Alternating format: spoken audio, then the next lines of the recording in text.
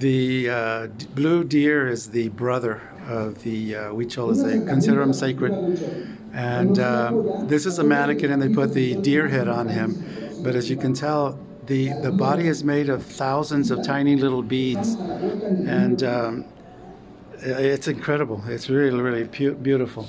Then we have the eye of God, which is this symbol right here. It's the cross with the uh, the cross in the middle and the, the, the box in the middle with the eye of God. The uh, little bags that they carry, uh, each one of them makes their own design.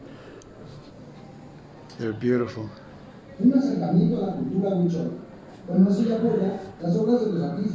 La tienda se llama. Yahweh. The store is called Yahweh, and it's in the Zocalo, in la calle Madero. In the calle Madero número